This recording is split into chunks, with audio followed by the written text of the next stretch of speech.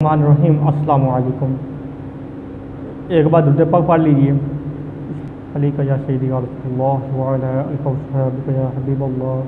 صلاة السلام علیکہ یا سیدی یا نبی اللہ وعلا علیہ وصحبہ کا یا نور اللہ. آج ایک واقعہ ہم آپ سے شیئر کرتے ہیں.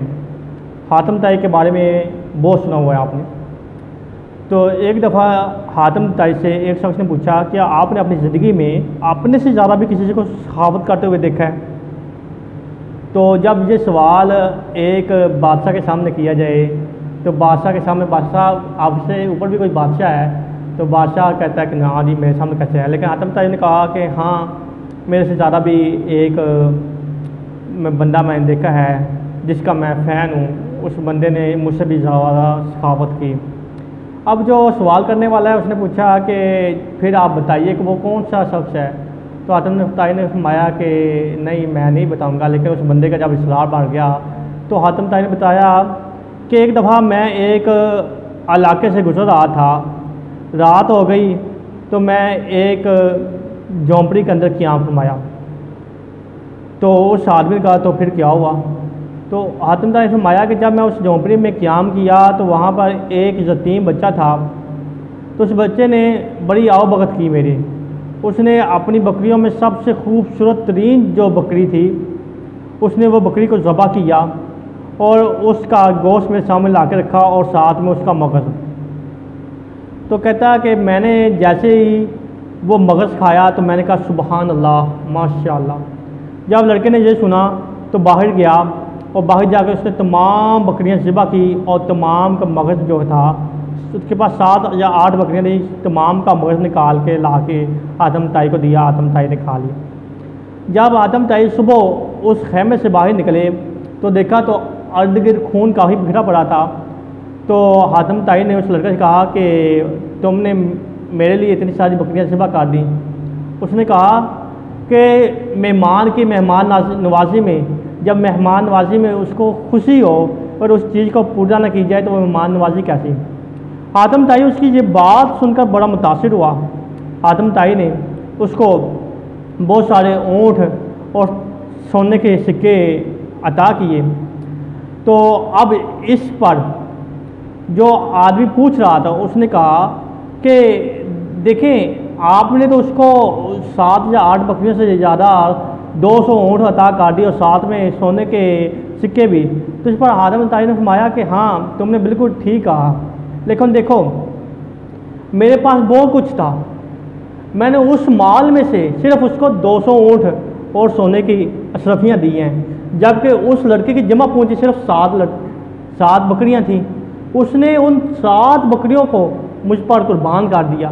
یعنی کہ اس کے پاس جو جمع پونجی تھی، اس نے ساری مجھ پہ لٹا دی اور میں نے کیا دیا؟ اپنی ساری محنت سے، ساری کمائی سے صرف دو سو اونٹ۔ میرے پاس اتنا زیادہ خزانہ ہونے کے باوجود دو سو اونٹ۔ تو اس میں مجھ سے زیادہ سخاوت والا کون ہوا؟ وہ لڑکا۔ تو اس طرح ہی ہے۔ اور اس کے علاوہ حاتم تائی نے یہ بھی فرمایا کہ جب وہ لڑکا میری خدمت کر رہا تھا، اس میں اخلاص تھا۔ اس میں اخلاص تھا۔ اخلاص تھا تو اس نے کسی ایوز کے بدلے کہ مجھے دو سو اونٹ ملیں گے یا وہ یا یہ یہ وہ لڑکا تو نہیں جانتا تھا۔ لیکن اس نے اخلاص کی بات دولت، اس نے سات بکریاں کی اور اس کے اخلاص کی بات دولت، اس کو یہ نام ملا۔ اس نے اخلاص کیا۔ وہ خلوص نیجر کے ساتھ اس نے بنا کسی لالچ کے مجھ پر سات بکریاں جو قربان کی۔ اور میرے پاس اتنا سب کچھ مال ہونے کے باوجود میں نے صرف اس کو دو سو اونٹ دی ہے اب ناظرین، اس میں ہمارے لیے ایک سبق ہے، کیا سبق؟ دیکھیں، ہم کوئی کام کرتے نا، تو ہم کہتے ہیں، یا اللہ پاک، میرا وہ کام ہو جائے، تو میں یہ نذرانہ دوں گا۔ یا اللہ پاک، میرا وہ کام ہو جائے، تو میں یہ یہ منت مانگوں گا۔ یا اللہ پاک، میرا کوئی کام ہو جائے، یا اللہ پاک، میں یہ کروں گا۔ یعنی کہ ہم جب کام ہو جائے، تب وہ نذرانہ دیں گے۔ خلوص نہیں ہے ہمارے اندر۔ جب ہمارے اندر خوشی ہو، تو ہم اس وقت تو کبھی نہیں کہتے۔ جب ہمیں کوئی مصیبت آ جائے، تو ہم نذرانے مانگنا شروع کر دیتے ہیں۔ ہمارے اندر خلوص تب آ جائے یا اللہ پاک ہم یہ کریں گے، یا اللہ ہم وہ کریں گے۔ تو ناظرین حالات جیسے بھی ہوں، تو امیر جو ہے نا، نعمت مل جانے کے بعد ہم یہ کریں گے۔ وہ نہیں، جب ایک پاس آپ کے پاس نعمت ہے، اس پر بھی شکر ادا کریں۔ اور اس کا بھی آپ جتنا شکر ادا کریں گے، اللہ تعالیٰ اس سے زیادہ خوش ہوگا آپ سے ایک واقعہ بیان کرتا ہوں۔ مختصر سے ہے کہ حضرت مصع علیہ السلام اللہ تعالیٰ سے جب کلام کرنے جاتے تو رستے میں دو آدمیوں سے ملاقات ہوئی۔ ایک آدمی بہت زیادہ امیر تھا۔ تو حضرت مصع علیہ السلام نے فرمایا کہ تمہاری اللہ تعالیٰ سے کیا آرزو کروں؟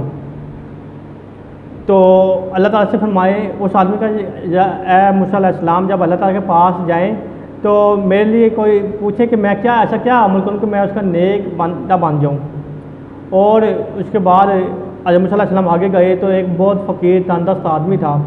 اس آدمی کے پاس پہنچے تو اس آدمی سے پوچھا کہ تمہارا اللہ تعالیٰ پاس کیا، اس آدمی کا جب اللہ پاک کے پاس جائیے گا نا تو پوچھے میں کیا ایسا کروں کہ مجھے، میں امیر ہو جاؤں۔